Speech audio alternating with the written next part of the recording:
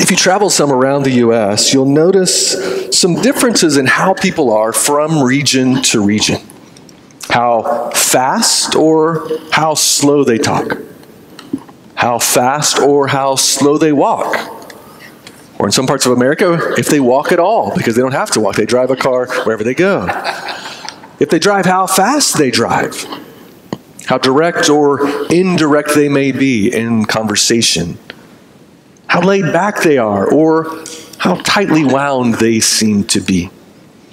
And if you are from that region, you likely don't notice it because it's normal to you. It's only when you go somewhere else that you notice those differences.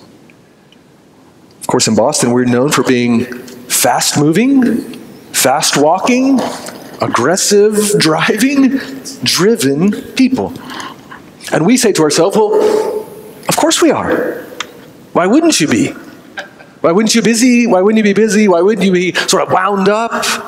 That's how we get so much done. So we in Boston look at people in other parts of the country, in the South and in the West, and we wonder how do they live in such slow moving places? Personally, I find myself intrigued by certain areas, particularly in the West, uh, Denver in particular, and San Diego, because of uh, so much sunshine and the lack of humidity. And there's certain times of the year when it's really hot and humid or very cold when I think, I think I might want to move there. But honestly, I don't think I would be happy because my perception, at least, is that people there are just more laid back, slow paced. And I fear, I just don't think I could, I think I'd be too wound up for that. And they would get tired of me very quickly. So I found my place in Boston. The fact is, our fast paced lives allow us to get much done and we can do much good. But these fast paced lives can also consume our hearts and our souls, can grind us up, drive us to exhaustion. I wonder if you've ever felt yourself worn down, exhausted by the pace of life, pace of work, study. I know I do at times. Today we want to consider briefly how are we investing our lives and are we doing so wisely and well? And can we give our lives, the years that we have, to things that really matter? So you have a Bible, turn with me to Psalm 127.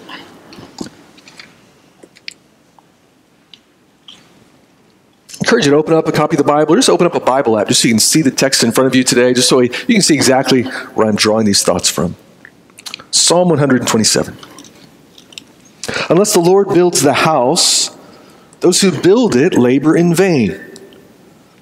Unless the Lord watches over the city, the watchman stays awake in vain. It is in vain that you rise up early and go late to rest, eating the bread of anxious toil for he gives to his beloved sleep. Behold, children are a heritage from the Lord, the fruit of the womb a reward. Like arrows in the hand of a warrior are the children of one's youth. Blessed is the man who fills his quiver with them. He shall not be put to shame when he speaks with his enemies in the gate. This morning in our passage, I'd like for us to see this emphasis Trust the Lord who builds fruitful lives. Trust the Lord who builds fruitful lives. And we'll look at our passage this morning by just asking two questions. First, how can I build my life well? And the second, how can I invest well in family? How can I build my life well? How can I invest well in family? So, first, how can I build my life well in verses 1 and 2? God's people at the time of this Psalm's writing had the same challenges that we all face today. The temptation to busy themselves with the construction of, of a life, of a physical home, of the care, the protection of a city. The idea here of building of a house includes more holistically our life of building a, a, an actual house, but also a life, a family, a vocation. The psalmist here writes of the protection of the city, which was normal in the world of that day. That city had to be mindful of that. So often, the constructing of a wall, even around a city, in order to protect it from the attacks of enemies. So they easily could have been quite focused on building a house or protecting a city. And friends, here we see the danger of building your life through self reliance. And we see this caution, verse 1 and 2 unless the Lord builds it, unless the Lord watches. So, if we try to build our physical home or the broader life that we may have, a family, on any other resource than God, it's in vain. The self reliant house is in vain. The very best that I can personally produce, it's not enough. It won't last. The very best friend that you can produce, if it's driven by self reliance, it won't last. It won't hold up. The same goes with security for our lives, security of a city, security of your family, the security of anything that we have, if it's grounded in resources other than God, it's in vain. Everyone can apply this as well to your education, to your career. If it's grounded only in yourself, in your own efforts, it's ultimately not sufficient. It's a vain pursuit. My Friend, I wonder if you ever find yourself struggling with self reliance. I know that I do. In fact, I very easily bend towards that. It's a natural direction when a difficulty comes for me is to move towards self reliance. So, over the years as a pastor, I've been a pastor for, for 22 years. Um, it's always been difficult to take a true day off. That's because there are always tasks, there are always challenges, there are always things to be done. And my default is to think, I can do more, I should do more. There's always a, another day to take off in the midst of that. But fundamentally, what I'm doing is I'm living by fear. That's why I don't take a day off. Self reliance. As if God needs me, when of course He doesn't. He'll do fine if I take a day off. And then I've found again and again, and it'll be a struggle tomorrow. So typically Monday is my day off. It, it will be a struggle tomorrow to truly disconnect. And so, moment by moment, the, rat, the battle rages between self reliance and reliance on God. And, friends, notice the result of our self reliant living, verse 2. It leads to this vicious cycle of rising early and staying up late. So, we rise early because the work must be done. And we're convinced that it all depends on us, and so we work all day, and then we stay up late. And because we have to come through, if we if we do sleep, it's unsatisfying sleep, sleep that doesn't refresh, and it's often sleepless nights because we stay up so late, or even while we're trying to sleep, our hearts are filled with anxiety. And so we find ourselves either working and studying, or worrying while we're working and studying, or worrying that we aren't working or studying enough. Some of you, even right now, are thinking, I could be working right now. Or I could be studying right now. Or you're doing it right now. You're actually, you know, doing some math or some calculus right now as we sit. And so we lose sleep. And then we throw ourselves into more self reliant work. And we work and we work, but we aren't satisfied and we can't find rest. Friend, can you identify with that? The frustration of laying in bed, your mind racing with worry. And when you do sleep, you wake up not rested, but still exhausted. I typically sleep easily and well.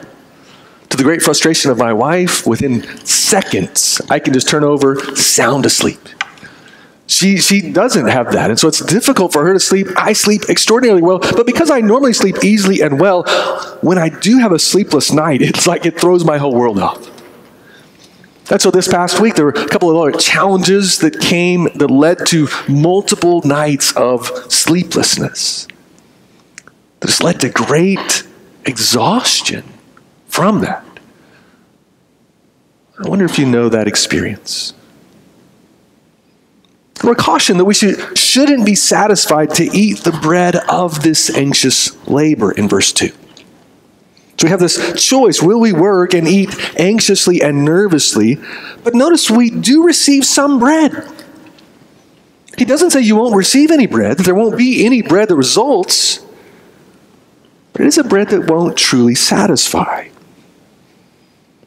Unfortunately, the dangerous part is that this bread may convince us we're actually making real progress. And yet, this is a treadmill that we can never get off. It's a trap. Self reliant work is so dangerous because it can bring progress for a time. The fruit, the results of long hours and worry may appear to be substantial for a while. So we worry and we work hard and we make apparent progress, and it looks like we're getting ahead. And self reliance is doubly dangerous and tempting in our culture because it looks so respectable. Friend, if you live like this, working, anxiously staying awake, forsaking sleep, you can accumulate accomplishments, degrees, you can climb the ladder of success. You will, in fact, get lots of affirmation for living like this. For if you rise early and stay up late and self reliant work, you will more likely be applauded. It will never get you fired, it will more than likely get you promoted. They'll say, This is the sort of person we want. She's never off. All she does is work. Promote her all the more. It will not initially lessen your success as a student. It may, in fact, get you ahead. And almost no one in our city or on your campus will caution you against this. But if we live like this, we'll fit in well in Boston. I mean, this is the heartbeat of life in Boston. Now, is the psalmist, is God against hard work? Is he calling us to, to, to a life of just sort of ease and even laziness? No. For God Himself created work. We see work in the world before sin enters in, so work is from God. It is a good and right thing. Now, as a result of the fall, work did become more difficult, and work can easily become toil. But, friend, it is good and God glorifying for his people to work, and sometimes to even work very hard. And much good can be done through your work. There are certainly times in one's life that may involve rising early, even going to bed late for a season. You might be in a degree program where obviously nearing finals, you, you will have to work more. The beginning of a particular job, so we don't want to mishear what the scriptures are saying. In fact, Christians, since we're working for the glory of God, we should be hard workers. We should be diligent. I mean, in fact, our employers or our professors should think, I don't know why they do it, but I would like to have more Christian employees. I'd like to have more Christian students because they're just disciplined, they're diligent, they're honest. They're not frantic, but they do work hard. So God doesn't say to us, don't get up early for work. He doesn't say, don't stay up late for work.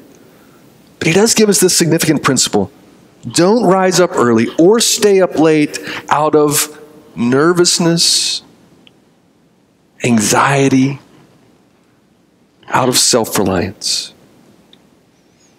So our text holds out a caution of the danger of self reliant work but he also holds out the potential of a transformed outlook. Friend, we should see the potential of work and rest that relies on God and that isn't self reliant. This psalm is both a, a, a, daunting caution, but also a hopeful promise of what can be. There's good news here for the ones called the beloved, those who are loved by God. So, who are the beloved of God? It is those who trust in Him. This is an identity. This is not what we do, it's not something that we earn, but it is who we are. So, friend, this is glorious good news that you could be called, that we could be called those who are loved by God, the beloved of God. How did God bring us in as his beloved? For this we celebrate at Easter in the days that are to come.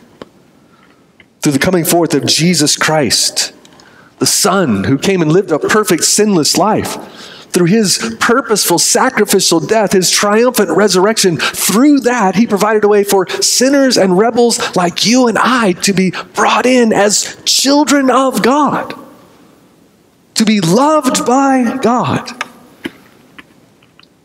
1 John 3 1 says it this way See what kind of love the Father has given to us that we should be called children of God, and so we are.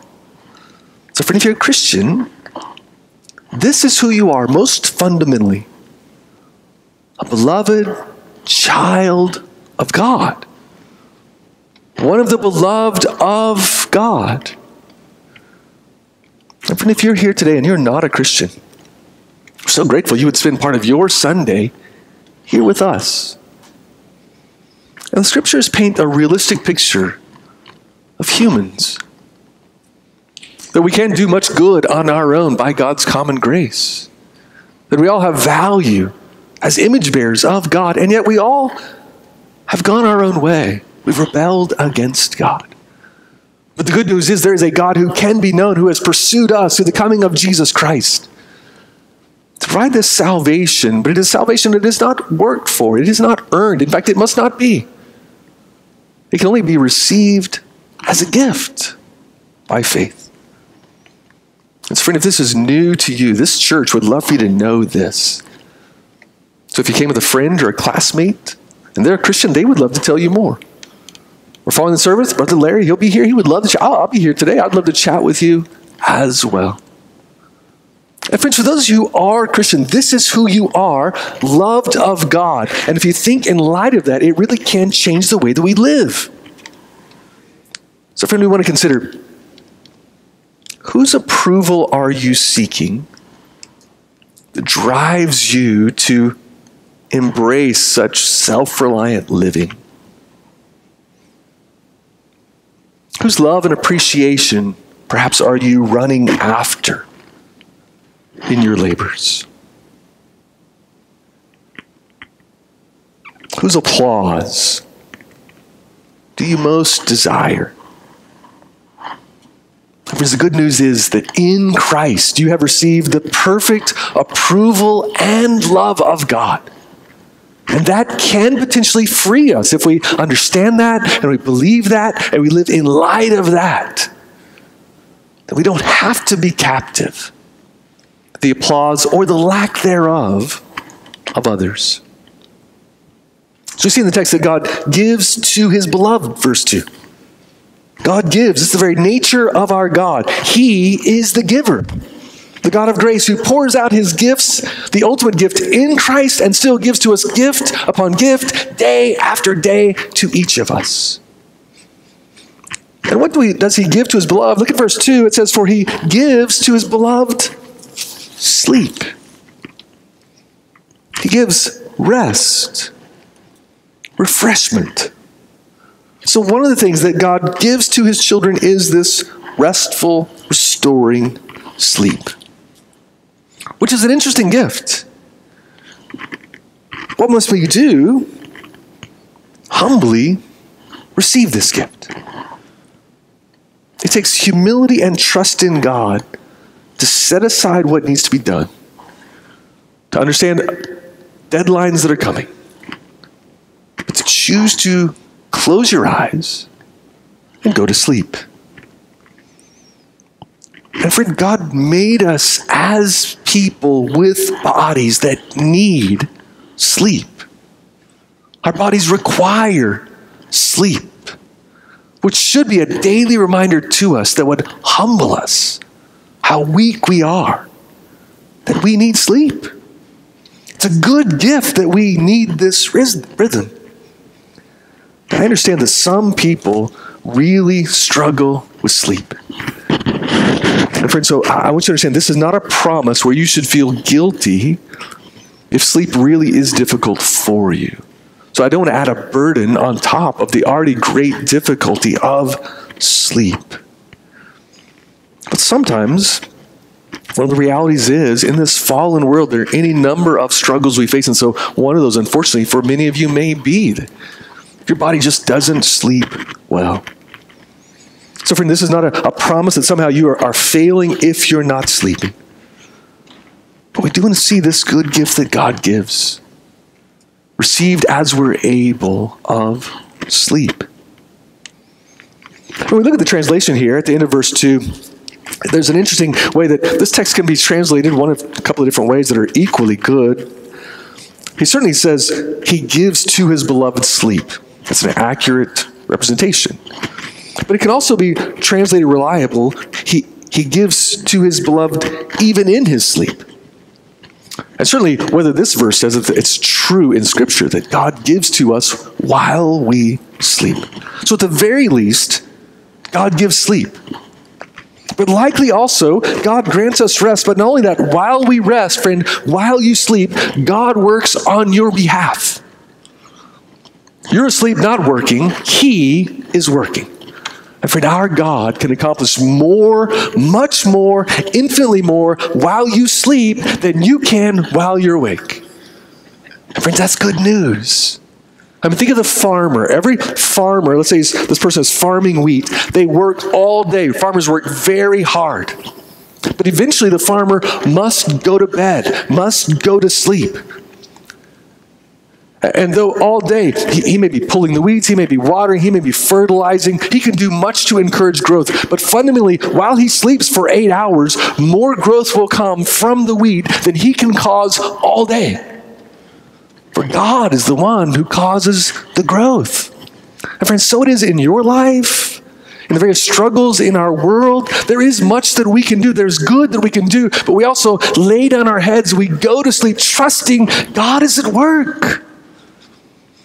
In those relationships in your life, you're trying to help someone bear burden, appropriately so, praying for and with them. Friends, still lay your head down and go to sleep and trust that God is at work.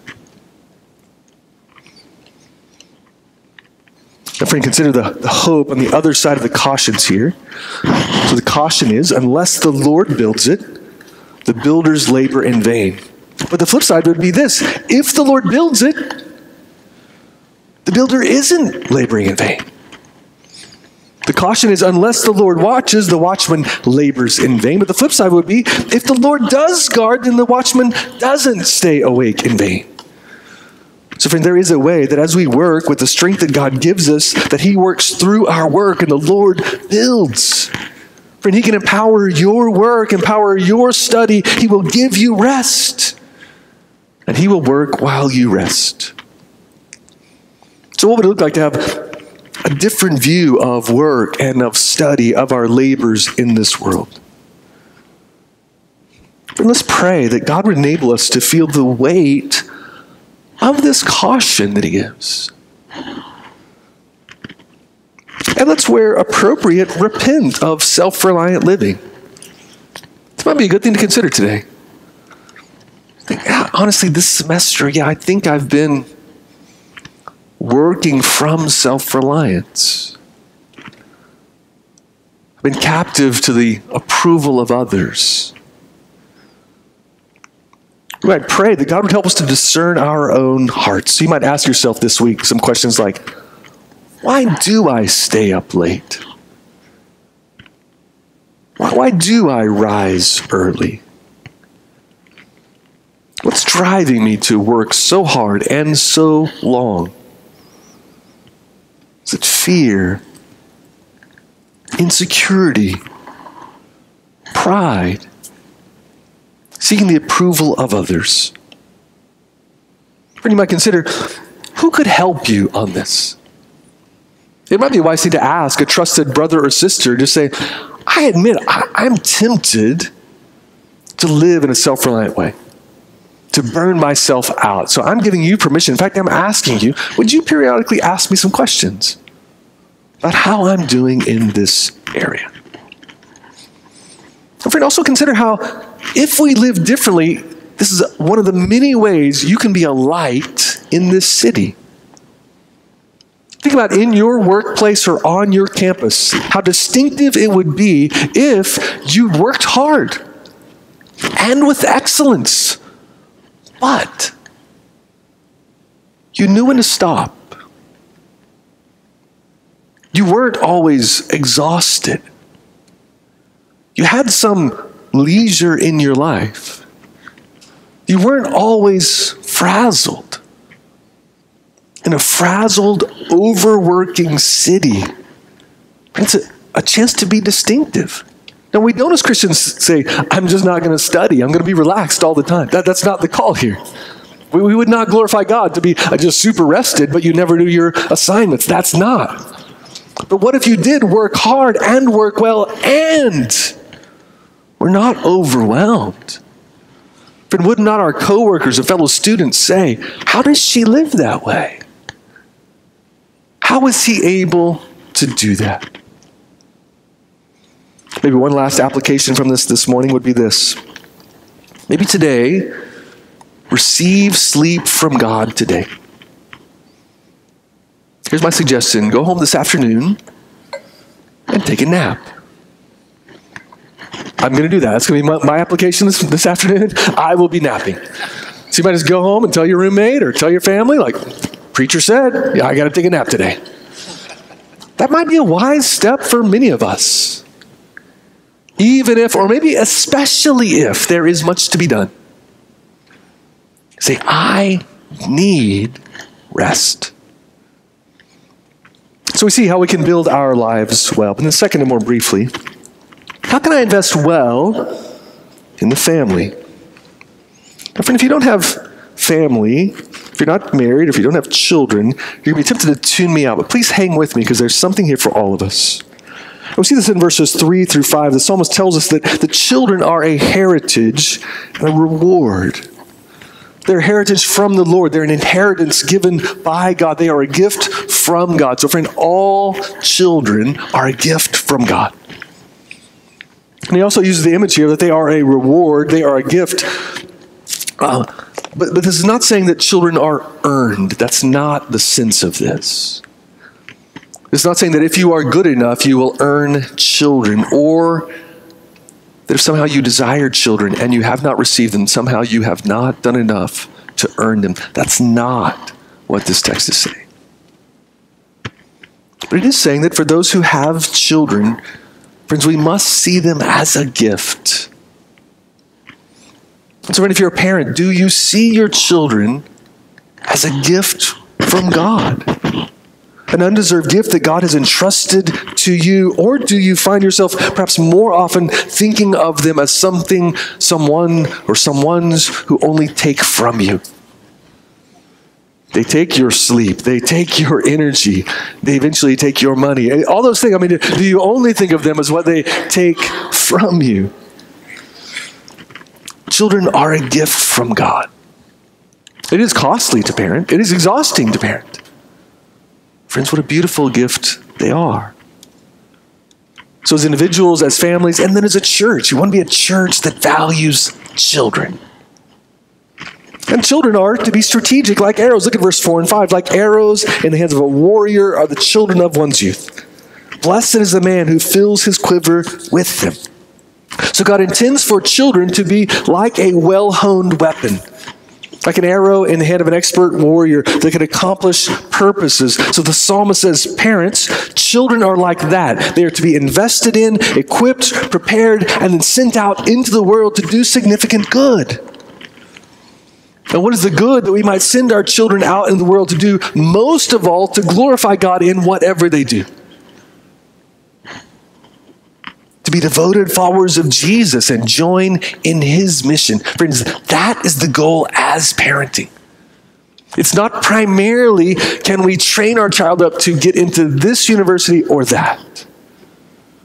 It's not primarily that our children would grow up and become ultra successful for our own reputation. It is that, Lord willing, they would glorify God and they would join in his mission.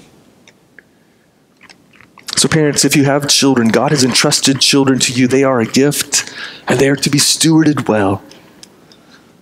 And in order for them to be sent out in the world one day as a well directed arrow, it will take time and intentionality. It will require sacrifice.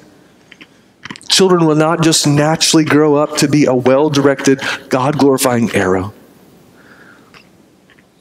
So we must be wise and intentional. Parents, your parenting needs to be strategic and persevering. So we want to think about, plan for how do we invest in our children. And if we don't intentionally think about it, it just won't happen. Life is busy, so much grabs our time and attention. So, parents, we must engage with our children and also want to see them engaged in faith. So, parents, do, you, do your children see you loving Jesus and loving the things of Jesus? Do they see you loving his church, engaged with the scriptures? I know life is busy, particularly when you have younger children, but it doesn't get better. It's always busy.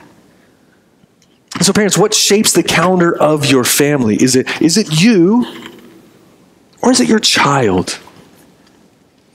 It's easier for me to say here, not to my own congregation. I do say it there, but, but it's a little bit of a touchy subject. When kids are young, we want them to sleep, and we want them to sleep also so that we can sleep. I understand that. It's exhausting when children don't sleep. But sometimes parents of young children begin to, to schedule our entire life around our child's rhythms, which pull us out of community, honestly. We're not able to do anything with other people. We're able to engage in a, a small group from the church. And friends, rhythm is good and it's wise, and we do want your kids to sleep, but I don't think you're helping yourself to pull out of community. And we're also subtly teaching our children something that's actually unhelpful. Because we're teaching our children that they're the guiding center of our family, that our life revolves around them. Instead of saying to them, our family loves the church. So sometimes that means a late Sunday night with another family from the church. Sometimes that means a small group at the church. And so, yeah, sleep's bumpy for a day or two after that, but that's the nature of what our family is. So, parents, does me encourage you in that? To be wise. And as they get older, you'll face the challenge of are the Sunday morning gatherings optional in your family or not? Because there's a stunning number of opportunities for kids that are only on Sunday morning. But friend, you want to grow your children in love for the local church and prepare them for a time where they'll make their own decisions about that as well. And friends, for those of you who are single parents seeking to do all of this on your own, it's a tremendously challenging thing that you do, but what a beautiful picture you are displaying. I encourage you, let the church serve you in this endeavor. Now, parents, please hear this. Doing this does not guarantee that your child will ultimately put their faith in Christ, but it certainly increases the likelihood of it. Friends, see that investing in children is a worthwhile eternal investment. Now, are we sufficient for the task on our own? No. But God will empower you for this. As we think about this, we also need to keep in mind that God transforms our outlook on the family by, in the New Testament, broadening the scope of the family. In Matthew 12, we see a time when Jesus was teaching, his mother, uh, Mary, and his brothers came to him. And the people told him that your, your family is here. And Jesus said this Who is my mother and who are my brothers? And stretching out his hands to his disciples, he said, Here are my mother and my brothers, for whoever does the will of my Father in heaven is my brother and sister and mother. Because Jesus makes clear that in Christ, all who trust in Christ are part of this new family. Not replacing your biological family if you have one, but it is a, a spiritual family that is even closer often than that. In the Old Testament, God's people were told to be fruitful and multiply. The way that you grew the people of God was through literally having children. That was the way that Israel grew multiplication. The call is the same in the New Testament be fruitful and multiply. But the way that it's told us then is Go and make disciples of all the nations. Same call. But God's people now does not grow through biological birth, and not through the literal birth of, but is the rebirth of salvation. So, therefore, how does this family of God grow? We go and we tell people the good news of Jesus. We make disciples. That's how multiplication happens now. So, friend, therefore, this family picture, whether you ever are married or ever have children all, friends, all of us are brought into this. For every one of us play a part in this being fruitful and multiplying as we make disciples. There's valuable, fruitful family work in the family of God for every single Christian. So, friend, wherever you are, if you're a believer in Jesus, there are others who you can come alongside of and walk together in helping them grow. There's some that are maybe you're just a step or two, you've been a Christian just a tiny bit longer. You can bring them a little ways along. And across the next year, the next 10 years, the next 30 years of life, friend, you can play a part in helping to make disciples. And as we do that, we're doing this, this sending out of arrows. And friend, as a church, your church is like ours. Many people will be here a time and will scatter. I talked to multiple people, even this morning, who are moving elsewhere soon. And friend, as a local church, it is painful, isn't it? To know people, to love people, and then for them to move away. Now, clearly, they're sinning by leaving. We know that. No, I'm just kidding it's tempting for us to tell them that, but of course they're not. They're, they're, being sent out. But friend, you see in the family of God, we're, we're sending them out as arrows from Ruggles Baptist Church.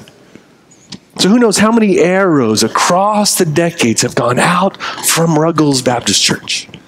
Hundreds and hundreds and hundreds. And friends, that's what we do today. Some who this year will go out from Ruggles Baptist Church will be arrows sent out from this family to go and do good wherever they go. Friends, it is hard to stay. It's exhausting if you've been here to say goodbye. But friends, it's a worthwhile thing. It's a beautiful thing. And the influence of Ruggles Baptist Church is greater because of those arrows going out. That's what you do. So, friend, no matter where you are in life, do you see you play a part in this? And for the children who are part of Ruggles Baptist Church, for those of you who are not those children's parents, do you see you have a role in their life? Parents certainly have a role, a responsibility, but parents, just by the nature of being parents, their kids immediately think their parents are not cool and they have limited knowledge. That's what kids think about their parents. And by the fact that you're not their parents, you are immediately cooler than their parents are. And they're watching you. And if they see you love Jesus, and they see you love them, it will play a huge part in their lives. Our kids are now 24 and 21. And so we see in them at times things that we didn't do so well, but they do better already or things that we didn't impart to them. We wonder, where did they pick that up? And you know where they learned so much of their life is from our church family. People who were at our church and often who moved away as they were sent out like arrows, who impacted our kids helped our kids love Jesus and love the church. And these are people who are not a part of our biological family, but are a part of the spiritual family of God. Friends, don't discount the role you have on children and teenagers in your church. You can make a massive impact in their lives. So, friends, the question for all of us is will we give our days to helping in the family of God in the local church? Encouraging one another, making disciples, sharing the good news. It's costly to do this. It's time consuming, but friends, it's, it is worthwhile, and what a beautiful kingdom investment it is. So, friends, let's spend our days well. Not in exhausted self reliance, but in diligent, passionate, costly, God glorifying, God trusting kingdom efforts. Let's pray. Father, we're thankful for your grace. Lord, I'm grateful for this congregation. for how many who've come through this church across the decades and will in the decades to come and be sent out to the world. Lord, help us today to give some evaluation to our lives. Are we eating the bread of anxious toil? Are we resisting the gift of sleep? Lord, help us that we might be distinctive for the spread of your good news and for your glory. In Jesus' name, amen.